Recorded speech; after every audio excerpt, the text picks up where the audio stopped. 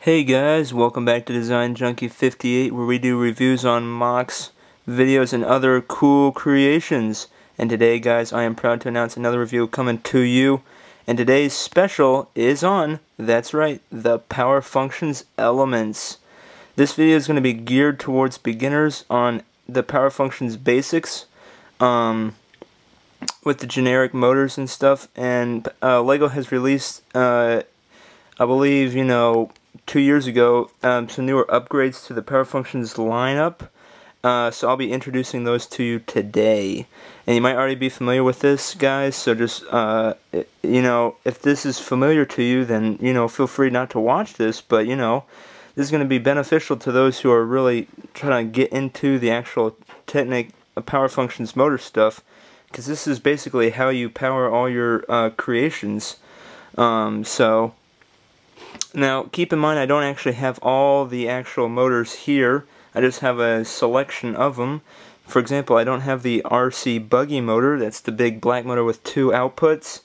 Um, uh, don't have that motor here today. Um, I will be introducing or showing you a smaller motor from 2006. It's really old. It's not part of the Power Functions lineup at all.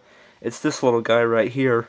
Um, uh, yeah, this thing just is terrible, honestly. I mean, it really sucks. I mean, the motor is like, doesn't even work anymore, so, um, this one on the old, uh, uh, Creator, uh, helicopter model I reviewed a couple of videos back.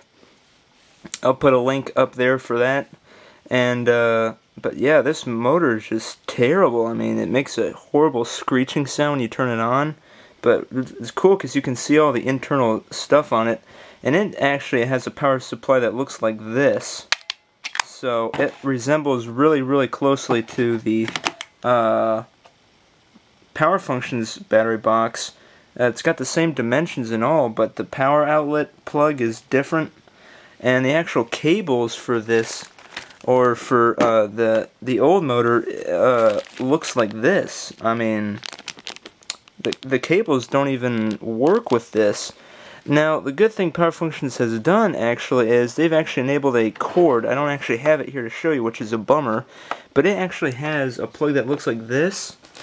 And um, one of these outlets right here. It's sort of an adapter plug, and it actually enables you to use the older motors with the Power Functions system. So that actually is really cool. Um, now, aside from the older motors, which are just junk, at least this motor is, the buggy motor is really wicked cool. I wish I could afford that, but uh, I'll have to invest in that in a later time. Anyway, moving forward, uh, let's just move all this off the off the uh, box here, and uh, I'll just start showing you all the motors and uh, power functions uh, gadgets that LEGO has released over the years.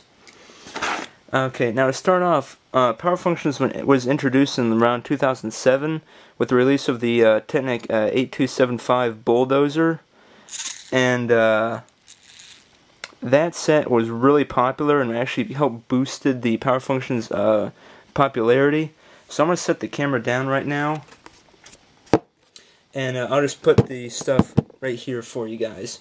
So starting off, we have our basic uh, battery box power uh, source. Uh, requires six AA batteries to power this bit to power this bad boy and your power source has a green light that signals that it's actually turned on and a power outlet plug. And uh, you can attach it with these holes here or with these babies right here. So that's that.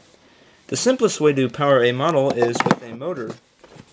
This actually happens to be the medium motor or the M motor as I like to call it. And what you can do to power this thing is just simply attach it on like that turn it on and that, that little guy's just going to spin.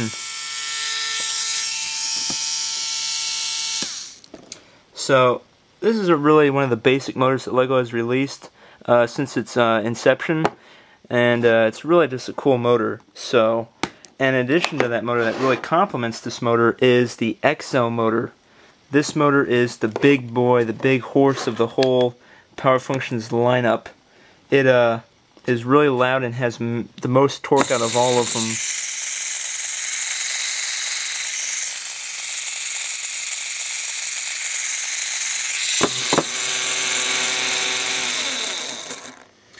So it is just a really, really cool motor, guys. Um, I'm gonna actually have to cut the video short here now, guys, because I'm running out of battery juice. So I would say stay tuned in for the part two of the Power Functions review.